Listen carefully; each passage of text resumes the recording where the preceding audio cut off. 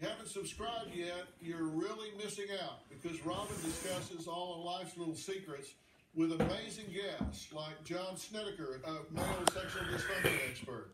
Robin and John have a fascinating conversation about everything from performance anxiety to Viagra.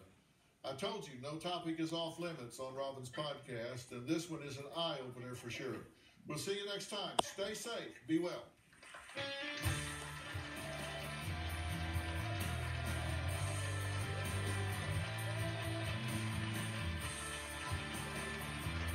If you would like to be a part of our virtual audience and you have a computer with a camera, log on to drphil.com and click Be Part of the Audience.